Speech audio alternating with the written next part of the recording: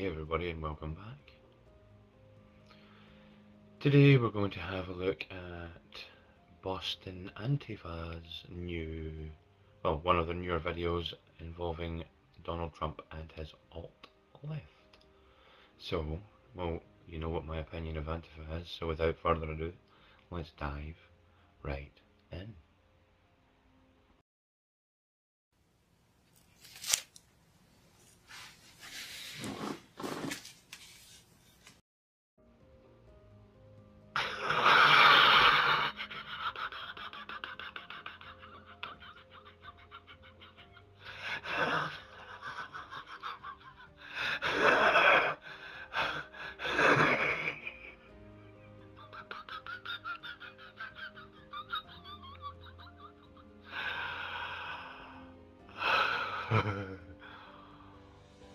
Holy fuck. you don't make a pretty check.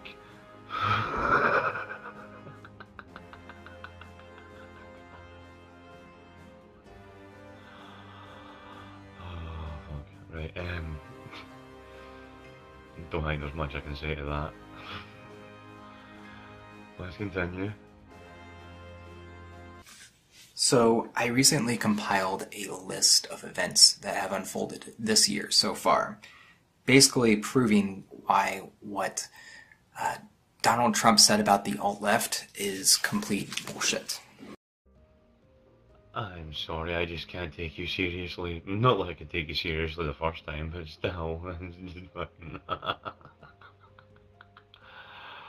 oh man, you are such a bitch. Let's. So, these won't be in any kind of chronological order, but I'm going to go ahead and just try to pull um, some different examples. This is a very long list. January 20th, a right wing extremist shoots a protester at a Milo Yiannopoulos event at the University of Washington. January 29th, Alexandre Bissonnette walks into a mosque in Canada during evening prayers and opens fire, shooting 17 people and killing six of them. In January, uh, over 40 Jewish centers in the U.S. have received bomb threats. Hmm. I want sources. I want actual sources, quoted sources. I'm going to double check I want sources that any of these are true because I don't believe. Well, actually, I can believe that bomb threats were called in, and I can believe some things like that, but I don't believe it was right that we're doing it because, to be honest, most hoaxes happen, and most things happen. They're the fault of the left, which is fucking you, you moron.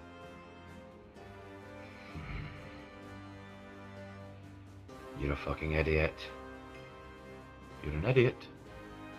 You're an idiot. God, I would love to take you on a debate sometime, Dustin. I'm pretty sure I would literally eat you alive. I would actually eat you up, man. Seriously, you are, you've got no way enough of a killer instinct to fucking have a debate with me. I tell you what, my little fucker. Sorry. Friend. No. Right the first time. Fucker.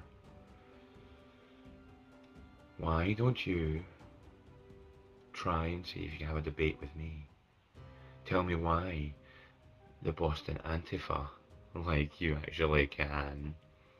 Tell me why the Boston Antifa are not the fascists and the monsters and downright garbage humans.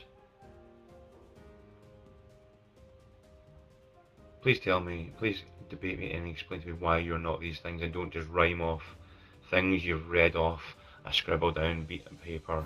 I want sources. I'll bring facts with me. I suggest you bring them with you. Oh, but then again, you're a fucking shite bag, so I doubt you'll ever, ever agree to debate with me, Dustin. But I will tell you something. If you do, I might just give you a little, little bit their respect, and you might just even earn a man card. Mm-hmm. And if you don't know what a man card is, I suggest you go and have a fucking look. Because you, you lost three of them the minute you sat down, you only get five a day. Right. You, you are in negative numbers now. You owe the rest of mankind at least 15 man cards for just for this, what, three and a half minutes video. Seriously, what the fuck? Anyway, that's I've, I've made my point clear and I've issued my challenge. Don't be a fucking pussy. I do like it. I do like. No, no, no, no, no, no, no, no. Can't do that.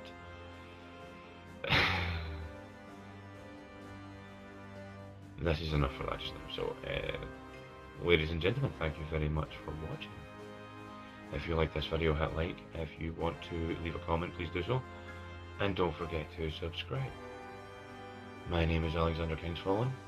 To my subscribers, thank you very much. As always, you are appreciated. And I'll catch you all in the next one.